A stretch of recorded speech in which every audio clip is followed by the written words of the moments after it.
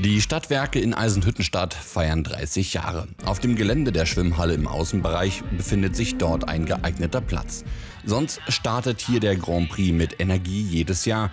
In diesem Jahr zum Anlass der 30 Jahre konzentrierte man sich jedoch auf das Fest. Und das war auch gut so, denn die Temperaturen waren teilweise so hoch, dass an Laufen oder generell an Sport kaum zu denken war. So suchten sich die meisten den Platz im Schatten unter den Zelten, während das Programm auf der Bühne stattgefunden hat.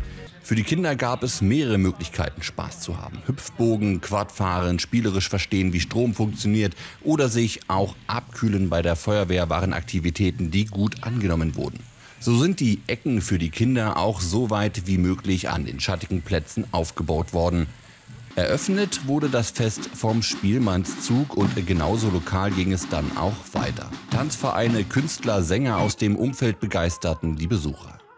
Zu 30 Jahren Stadtwerke gehört natürlich auch die Geschichte. Der Geschäftsführer Robert Böswetter traf auf einen ehemaligen Geschäftsführer der Stadtwerke, Bernd Rote-Salmann.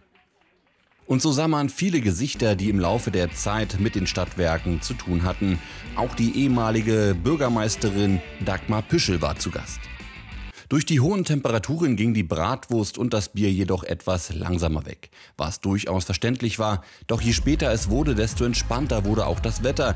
Die Temperaturen kühlten herunter und das Tanzblut fing an zu kochen. Die ersten stürmten die Tanzfläche.